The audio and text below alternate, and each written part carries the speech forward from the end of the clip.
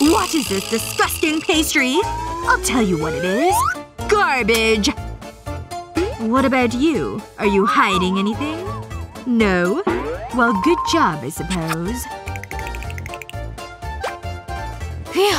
She's finally gone! Because I am starving and need a snack. Did you just eat makeup? That's so gross! Look! It's not makeup at all! I'll show you! I took a square piece of candy like this, and I removed it from the wrapper. Then the next step was easy. I started to mold it with my hands. I just rolled it around until it softened. Then, when it was a ball shape, I just smooshed it flat.